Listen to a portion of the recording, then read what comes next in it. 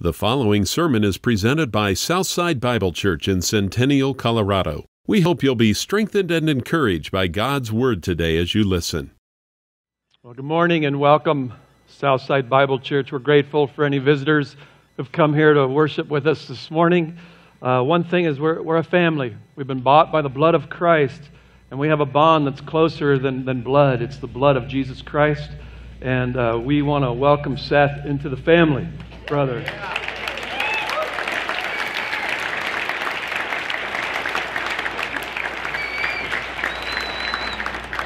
Only conversion could put you in a suit, brother. I love it. I love it. That's beautiful. Well, this is Easter Sunday. It's a very special morning where we're going to celebrate the resurrection of Jesus Christ, which is the most significant event in the history of this world. And so my goal this morning is to help you understand why is that the most significant event in history and of your life. I'm going to shoot to open that up. And I'm just going to tell you right out of the gate my methodology is I'm not uh, running for political office. Um, I, I'm not going to try to persuade you with my thoughts. I'm not going to, you know, I just, I want you to even challenge your own thoughts. And I want to bring you today to what does God say? What does God's word say about the significance that Jesus Christ has risen from the dead. And so I come as an ambassador.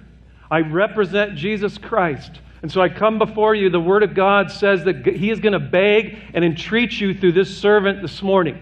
God Himself, through His truth, is going to be begging you to hear this and to respond rightly to this great reality. And so we come this morning. I'm going to ask you to pray. I usually, if you're visiting, I usually preach on like half a verse for 50 minutes and he just read 46 verses. So I want you to text your relatives and tell them you're going to be a little bit late, okay? And so we're going to ask for a special grace that Pastor Murphy can actually get through these verses. I'm shooting for a half hour, okay? So let's go before God and ask Him to do something special. Father, we come before you, and that veil has been torn in two. We have full access to the living God. And I thank you that Jesus was raised, that we are now justified. We're declared not guilty before our God. We have full access to you, O God. And I pray this morning now that your Spirit would move through these words and that everyone in this place would know these are the words of God and that your Spirit would come now and apply them in power. God, let us see the realities of the resurrection of Jesus Christ. And it's in His name that we do pray. Amen. This morning we're going to look at uh, John chapter 11. John was called the beloved apostle. He was always laying at the bosom of Jesus. He was in the intimate three that would draw near to him. And so this is his account of the gospel. And I want to give you kind of a, a brief uh, overview of the Gospel of John. And I'm going to tell you at the, uh, at the end, there's really like two volumes that we're going to look at in John, is chapters 1 through 12 are the book of Jesus' signs, and they're, they're showing you, they're there to, to tell you uh, why he's writing this book. He said, I write this at the end is so that you would hear and see and believe in the Lord Jesus Christ. So, 12 that we're going to see, the first 12 chapters are seven miracles showing that only what God could do. They're authenticating that this one called Jesus of Nazareth is indeed the Son of God. And then in the next chapters, 13 through 21, he's going to unfold and reveal his glory, his passion to the cross, and his resurrection, and to bring about a salvation as the Savior of the world. In chapter 1, John introduces his book, and he calls Jesus the light of the world.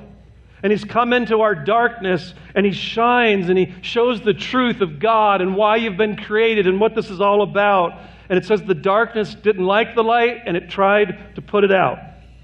Thus far in the gospel, Jesus has been shining. And he's been showing signs of who he is and his power, and he's preaching his kingdom. And he's shown, shown seven signs in this first section. He turned water into wine as his first one. And then he's moved and he's been healing and doing miraculous things. And now we're going to come to his seventh sign, and he's going to raise a dead man uh, named Lazarus. And so, what is happening now is the darkness is trying to extinguish the light. In the first 10 chapters, six times, it said the darkness tried to put the light out. They tried to stone him, they tried to kill him. And at the end of this chapter, if you'll just flip forward to John 11, look at verse 53. After the raising of Lazarus, from that day on, they, the Pharisees, planned together to kill him. His light has been so bright now in raising the dead, we got to kill him. We got to bow to him and surrender, or we got to kill him. And so from that point on, we're going to get rid of this light. We've got to remove him from this earth. And so as we come to chapter 11, Jesus will now do his most glorious miracle to date. And as we look at this chapter together, I'm going to give you an outline so that we can kind of hang it on it and journey together through these verses this morning. We're going to look at Jesus' unexpected delay. We're going to look at his personal ministry.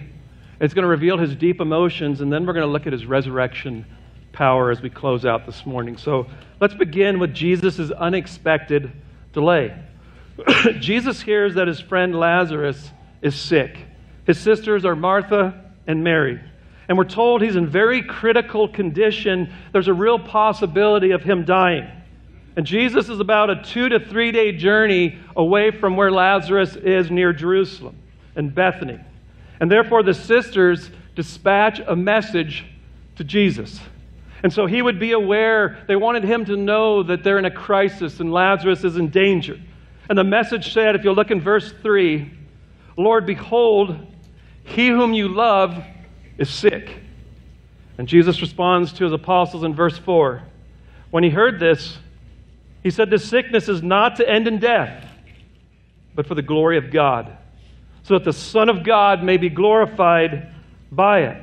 He's not going to die. There's going to, there's going to be a way that God is going to be glorified through these circumstances and events. And then in verse 5, now Jesus loved Martha and her sister and Lazarus. So when he heard that he was sick, he stayed two days longer in the place where he was. And this is what I call this unexpected delay. We're told that Jesus loved him several times in this text. And now we're told the one who you love is really sick, potentially unto death. And Jesus doesn't rush off immediately to go help him. What would you do if someone you loved was sick? I want to get over there, I want to help. But he stays two more days, and it appears for no reason at all. Why? How do you reconcile? It says Jesus loves them, therefore he delays two days. Well, the answer is verse 4 because the glory of God is going to be put on display by the delay of Jesus Christ. And so I want you to hear this this morning. The love of God, it's not health, wealth, and prosperity. Jesus didn't come to make you healthy, wealthy, and wise. Get that out of your mind.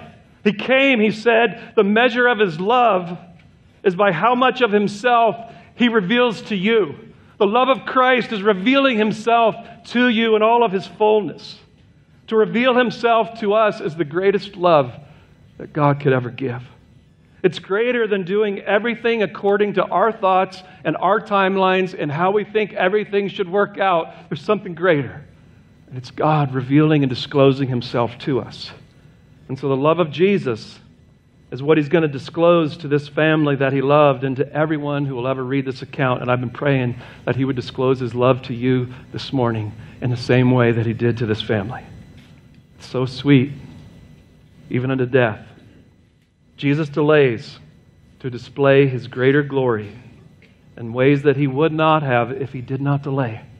And there's times that he will delay and he'll reveal more of his glory to us as his followers. So, in our context, he stays two more days, and then it's a two day journey to get to Jerusalem. And I learned something interesting this week. Uh, rabbinic teaching of the day was when someone died, they taught that the spirit of the person would hover over the body for three more days. And if the body resuscitated, the spirit would then return to them. But four days, all hope of resuscitation is gone, and, and you're pronounced dead. And so in that day and age, four days was done. There's no hope. And so Jesus does not rush. The onlookers would never be able to just say Lazarus got some sleep and he healed and he, and he came back. He's dead. Lazarus is dead. In verse 7, Jesus says, Then after this, he said to his disciples, Then let's go to Judea again. The disciples said to him, Rabbi, the Jews were just now seeking to stone you Are we going to go there again? And Jesus answered, Are there not 12 hours in a day? If anyone walks in the day, he does not stumble because he sees the light of this world. But if anyone walks in the night, uh, he stumbles because the light is not in him. And this he said in verse 11 after he said to them, Our friend Lazarus has fallen asleep, but I go so that I may awaken him out of his sleep. And the disciples said to him, Lord, if he's fallen asleep, that's good. He's going to recover. He might heal. And verse 13, Jesus had spoken of his death, but they thought that he was speaking of literal sleep. So Jesus then said to them plainly, Lazarus is dead. And I'm glad for your sakes that I was not there, so that you may believe. But let us go to him. And therefore, Thomas, who's called Didymus, doubting Thomas, said to his fellow disciples, Let us also go that we might die with him. Okay, if he's going to go back to there, they were just trying to kill him. Let, us go back and just die with Jesus. That's Jesus' unexpected delay. And secondly, what I want to look at then is I want to see Jesus' personal ministry in verses 17 through 27. Let's look at verse 17.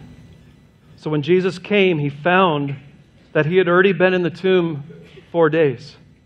And now Bethany was near Jerusalem, about two miles off. And many of the Jews had come to Martha and Mary to console them concerning their brother. Martha, therefore, when she heard that Jesus was coming, she went to meet him. But Mary stayed at the house.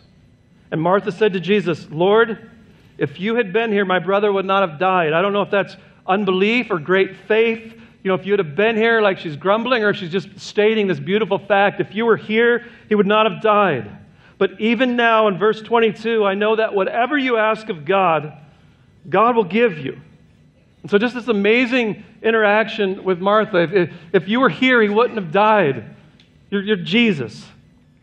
In verse 23, Jesus said to her, Your brother will rise again. And Martha said to him, I know that he'll rise again in the resurrection on the last day. And so Martha is now sharing her theology She's sharing her belief, her creed, so to speak, that there's going to be a final day resurrection where every soul is going to be resurrected and stand before this Christ. And you're going to be resurrected unto eternal life or unto eternal death. And so there will be a resurrection of every life. And Martha is, is getting it. And I grew up saying a creed every Sunday. I stood in a church and, and said that we believe that there's going to be a resurrection at the end. And we declared it every Sunday while I was just clueless of what I was declaring. And Martha says, I know on the last day, Jesus, there will be a great resurrection. And I believe that Lazarus will rise. I believe that you've taught us that, you've told us that. He's going to rise on the last day. Great theology.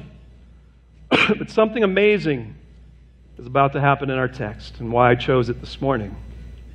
Jesus says something that should have brought everyone to their knees. Everyone should have fallen on their faces at that place. All the mourners, everyone right then should have just went down to worship. And listen to what he says in verse 25. Jesus said to her, I am the resurrection and the life.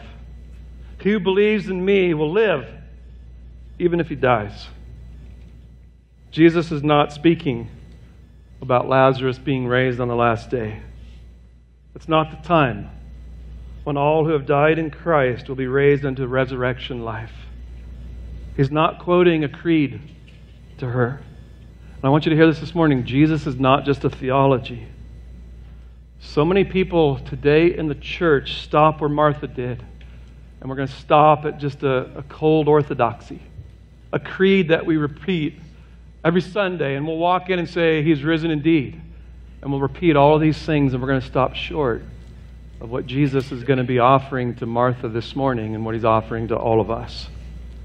And Jesus says, Ego eimi, I am. And when God revealed himself to Moses, when he's going to lead out the people, he says, Who, who, who are you? And he reveals this I'm this present, always, uh, always existing, eternal God. I am. And now Jesus stands in the midst of them all and says, I am. I'm God. And I'm the creed. I am the resurrection and the life. I'm the one who has all authority over life and death. I speak, and worlds and universes are brought into existence. On the last day, I will just speak, and everyone, all the dead from all of history will rise to a life of eternal suffering or eternal life with me. I'm the one. I'm the sovereign one over resurrection. And I lay down my life later, and he says, I have the authority to lay it down, I have the authority to raise it up again. I have all authority over life and death. You don't. Jesus does. And he declares when we die and when we rise, he's the sovereign one over life and death. Oh, this one Martha is the one who stands in your midst. He's not a theology. Guys, he's not a creed. He's the living one. He's the eternal I am, who's the resurrection and the life. And he's saying, Don't divide me from a theology or a belief. I'm the resurrection and the life.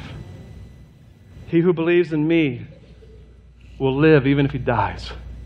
You'll never be more alive if you're in this resurrected one than when you die, he'll give you life. In verse 26, he says, Everyone who lives and believes in me will never die. Nothing will ever be able to separate you, believer, from the resurrection power of Jesus Christ, not even death. Death cannot separate. Where, oh, death is your victory. And he's saying nothing can separate you from the love of God in Christ Jesus, not life or death. He's sovereign over it. Death can't separate you from this one with all authority. Amen. Martha, do you believe this? There is such a difference between knowing a creed, knowing some truth, versus knowing the power of the one who is truth. And that's what Jesus is bringing this morning. So many people this morning are going to proclaim the creed, and they believe that they will rise on the last day to resurrection. But there's a big difference in what Jesus is calling for in this passage and in our hearts. And so he's looking at you, saying, Do you believe this? Jesus is driving it to a head. Kind of ruins the ham today, doesn't it? Just a little bit. He's driving it to himself. He's driving Martha to find eternal life in Him, not a theology. I want you to have me, Him, the one who came to give life to all who would receive Him. I, am offering myself. Come. Jesus is the creed, He's the power of the resurrection. This is who is standing in your midst, Martha. Get it. I'm the resurrection and the life. If you believe, you're about to get a little trailer of what's coming, Martha. To what's going to come at the end of the age. I'm going to give you a little glimpse right now on earth. And what you're about to see with Lazarus is I'm going to call him forth from the dead and he's going to come forth. That's what's going to happen on the last day to every soul. When I call to all the dead and say, Come forth, they all will come forth. And you're going to get a little trailer right here with Lazarus of what your last day is coming. Jesus speaks come forth, and every soul will be brought back to a resurrection life and, and judgment before this God. Martha, I'm what you need. I'm what you need. Not just Lazarus, back to life. You need the resurrection and the life, and I'm here. And I've come to give life. John says at the end of his gospel in chapter 20, verse 31, I write these things so that you will believe and the whole Gospel of John was written to bring you to the place that he just brought Martha. He's bringing you to this place is do you believe? And look at her testimony. I think one of the best testimonies in all of the Bible in verse 27 of belief. She said to Jesus, Yes, Lord, I believe that you are the Christ. You're what God has promised for thousands of years that He would bring in this world to bring men back to God. He's the one who would come and undo the works of the devil and bring us back into a relationship with the living God that we lost in the garden. I, I believe you're that Christ, and you're the Son of God. You're God Himself incarnate standing here in our midst. And you're even He who comes into the world, that God has come into this world on a mission to seek and to save that which was lost. I believe you're that one. Jesus drove Martha right into his arms. so beautiful. And so I want you to see there was an unexpected delay to show the glory of God. I want you to see Jesus' personal ministry of where he, he drives uh, Martha to this point of faith in who he is. And now I want to look at this third point of Jesus' deep emotions that catch you a little bit off guard. And I'm going to read in verse 28. when she said this, she went away and she called Mary, her sister, saying secretly, The teacher's here and he's calling for you. And when she heard it, she got up quickly and was coming to him. And now Jesus had not yet come in the village and was still in the place where Martha met him.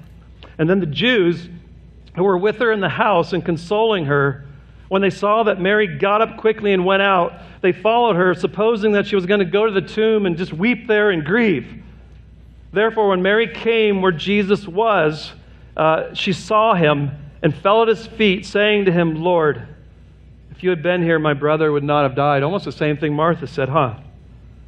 When Jesus therefore saw her weeping, the one who had sit at his feet and learned, and the Jews who came with her also weeping, says he was deeply moved in spirit and was troubled.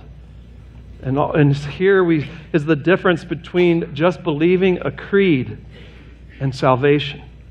See, a creed has no emotions.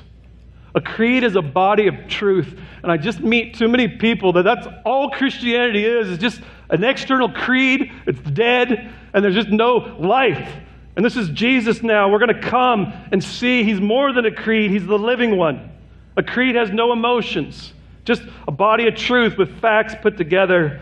But this is a person that we come to, and he is a sympathetic Savior. There's a heart to your God. He has emotions. He's human. He took on flesh. He's a living Savior, and He's inviting you into a living relationship with Him. It's not dead, it's not cold orthodoxy, it's a vital, living relationship with Jesus Christ. Get that.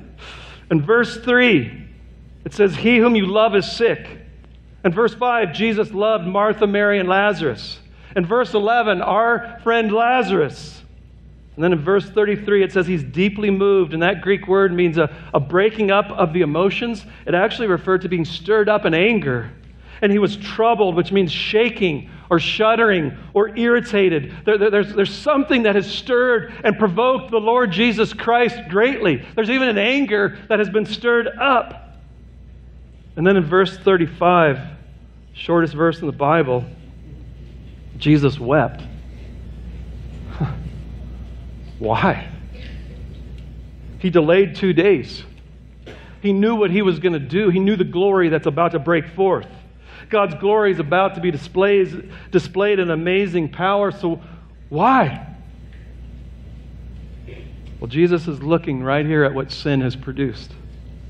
It's brought death, it's brought people to be doubting and blaming God when He's about to show His glory. There's mourning, all of this. I just want you to hear this. We have a Savior who cares.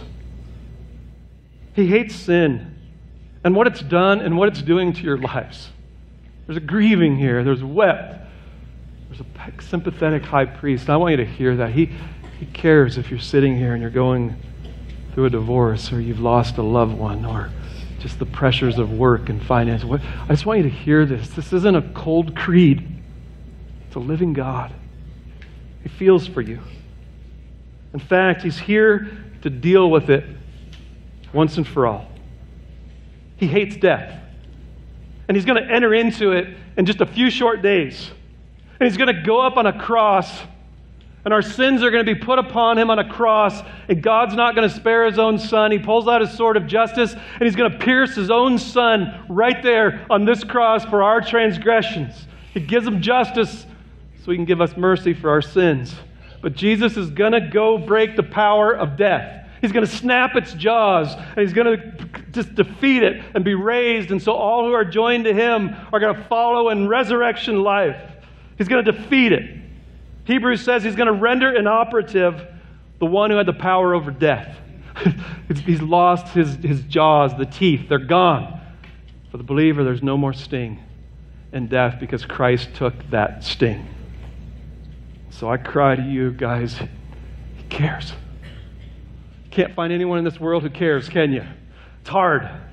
And here's this sympathetic high priest who cares and weeps.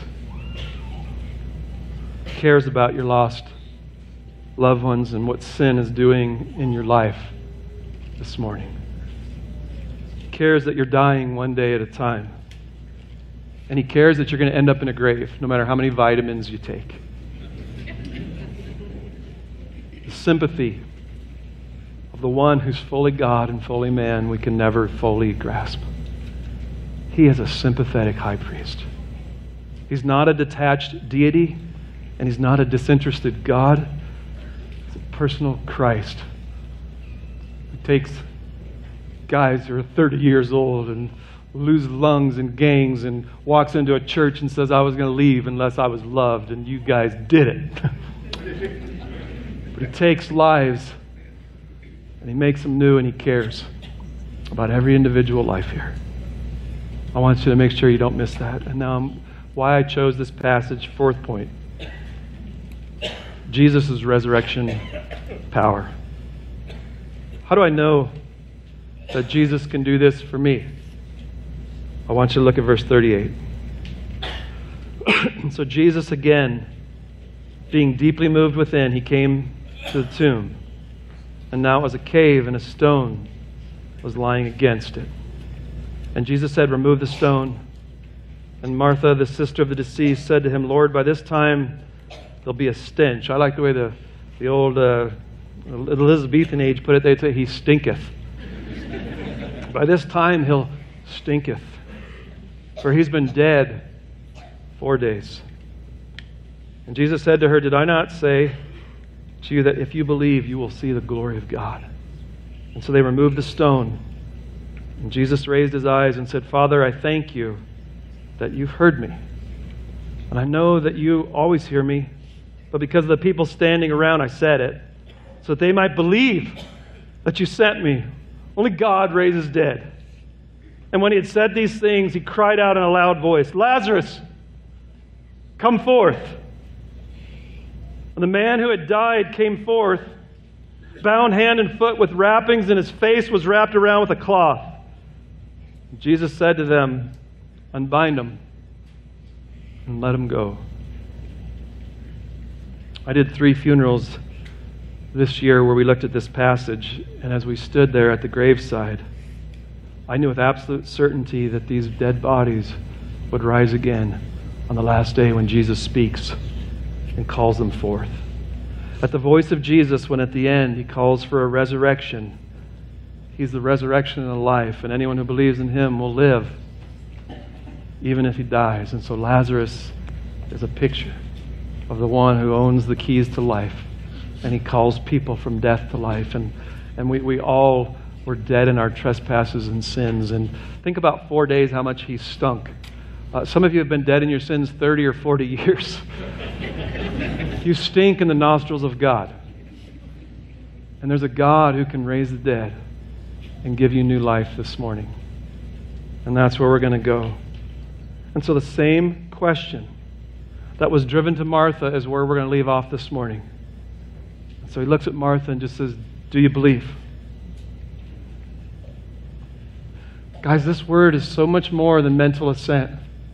If you're sitting here and you got nothing more than mental assent and a cold creed, you're dead. You stinketh. It's not just stating the creed every Sunday. This is a fork in the road of your life, on the resurrection and the life. Jesus just drew a line, and you're at a crossroad, an eternal crossroad. A broad way that leads to death and a narrow way that leads to life. Here he is the resurrection, and the life. Which way are you going to take? This is demanding a response. It demands a surrender. You can't look at what Jesus just did and what he just declared and say, I think I'm going to be neutral. He's either a liar or a lunatic. If I told you this this morning, I'm a lunatic. Or he is Lord over life and death. And he's drawn a line where we got to decide what am I going to do with this Christ? And their decision was we got to get rid of him. I got to put out the light. And you might be sitting here going, Why did I listen to my uncle and come here this morning?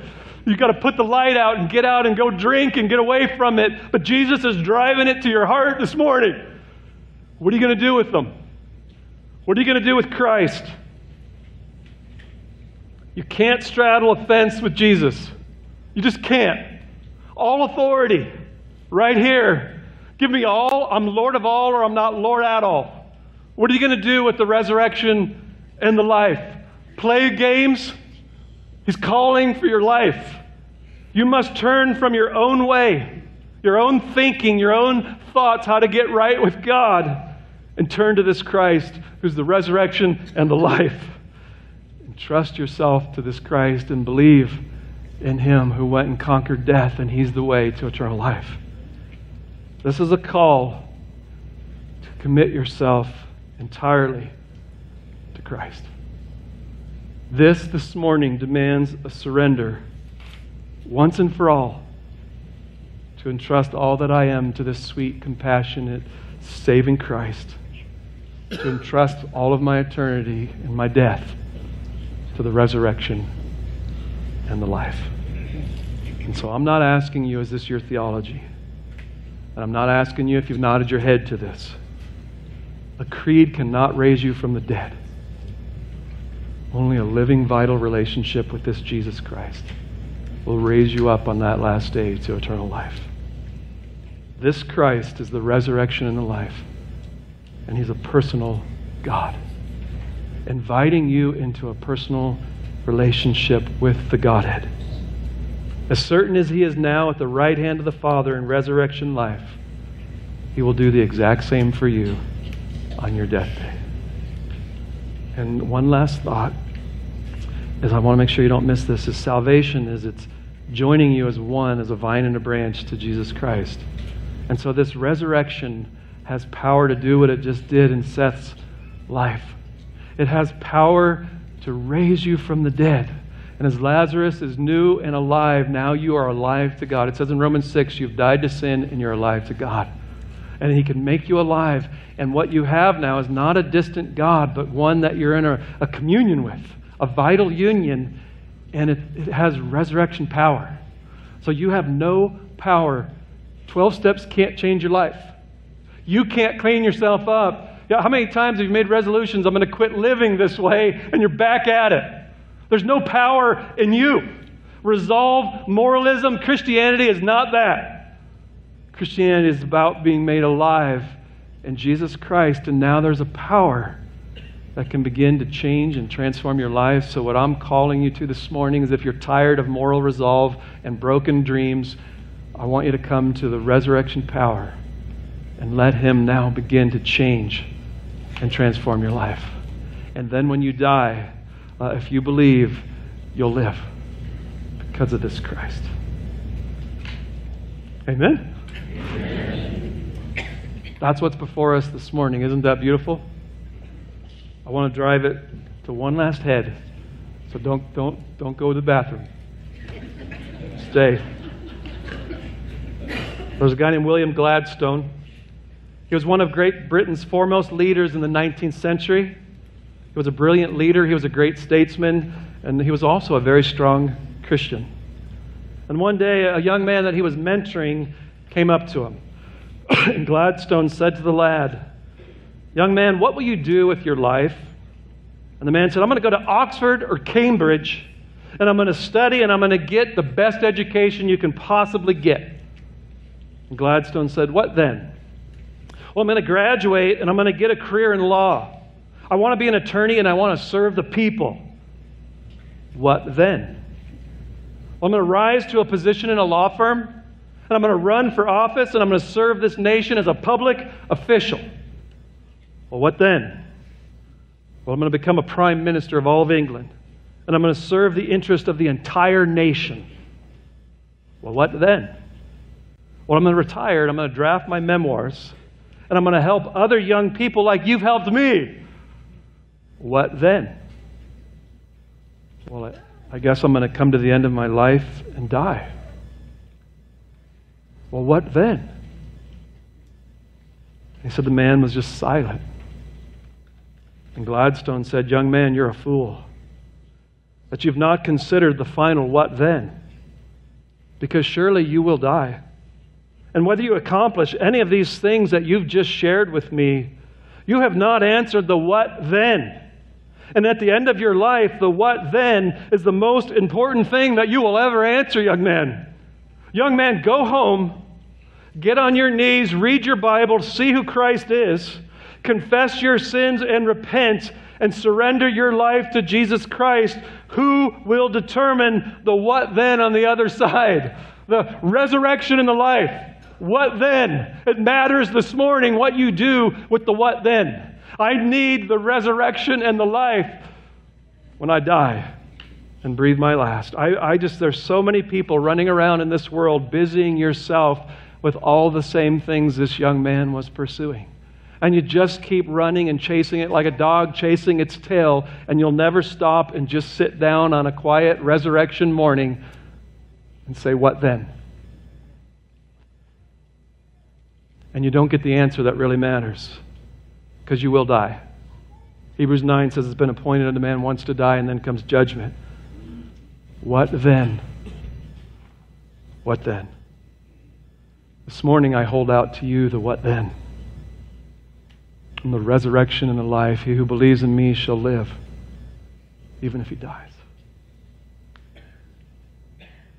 Well, how do I know this for sure? Well, the one that raised Lazarus from the grave is much like today. They, they hated him.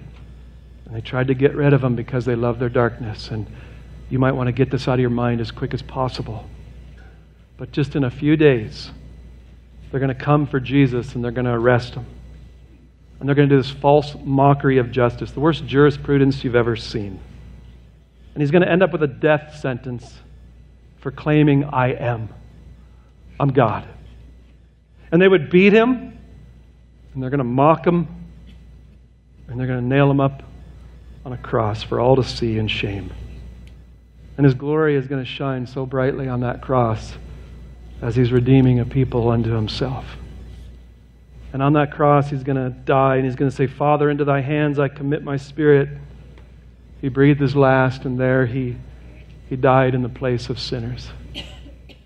And he was buried. And on the third day, some women went to the tomb to embalm and see him. And, the, and as, as Martha or Mary comes, the stone is rolled away, and the body's gone.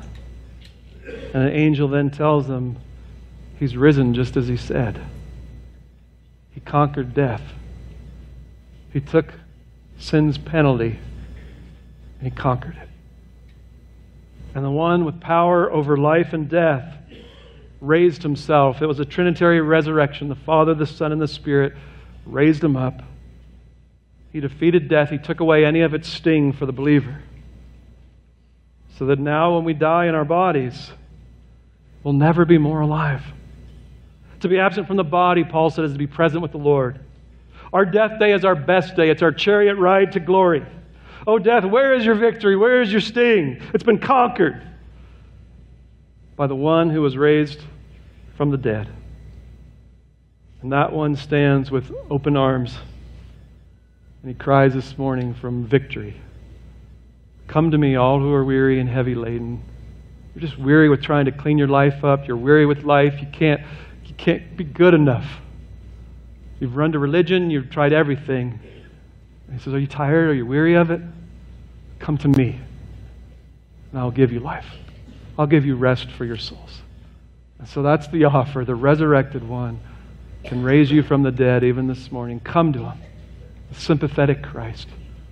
Come to him that you might live. I'm the sovereign one over death. It must obey my voice. And one day it's going to say, Ken Murphy, come forth. And I'm going to come bursting out of that grave in eternal life and glory, raised body and soul to worship and love Him for all of eternity, the one who's the resurrection and the life. And the absolute certainty of it is because Jesus Christ is risen. His tomb is empty. And so I'm going to ask you to proclaim that with me with all of your hearts. He is risen.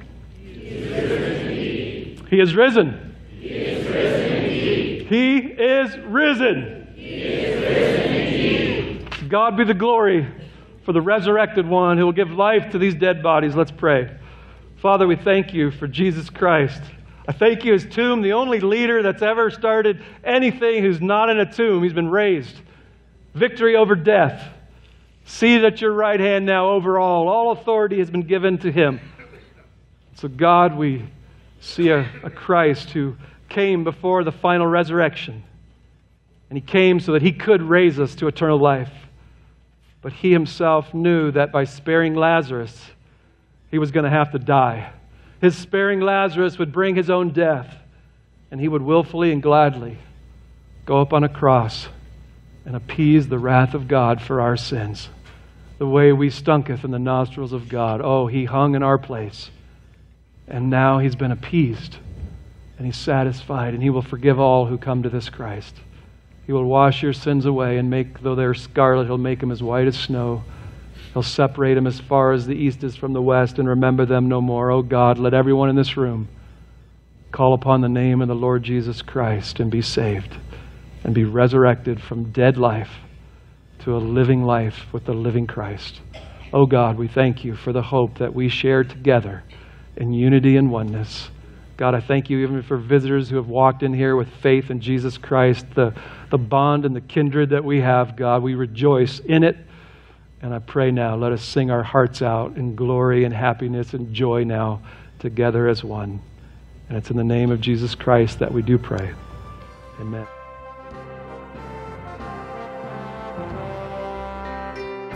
The preceding message was presented by Southside Bible Church in Centennial, Colorado, and we hope you've been challenged and encouraged to grow in your relationship with Christ. Each week, our sermons are made available online and may be downloaded and distributed. If you have questions or comments or would like to speak to one of our pastors, please contact us through our website at southsidebible.org.